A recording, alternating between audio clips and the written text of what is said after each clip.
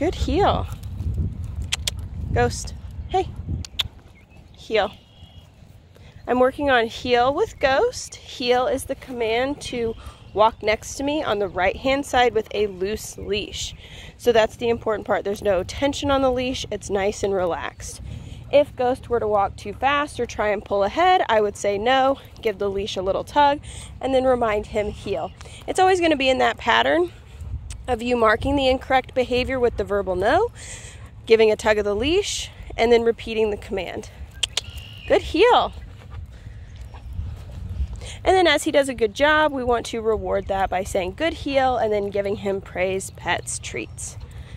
Whenever we stop, sit, we always ask Ghost to sit, that way he doesn't wander out of the heel position.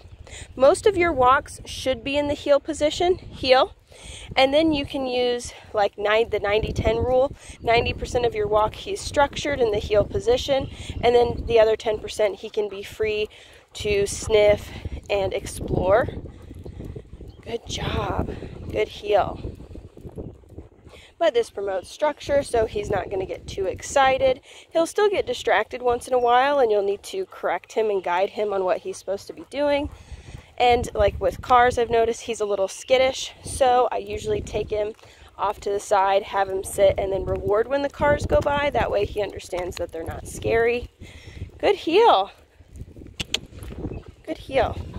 And I'm rewarding with my right hand, so I reward with the same hand um, that he's that side that he's on, so the right hand side, right hand, because that promotes him to stay on the right hand side. If I were to reward with my opposite hand, he would want to cross in front to get the reward. So always reward with the right hand because he's on the right hand side. Sit. Good boy. And that is heel and sit with Ghost. Good boy.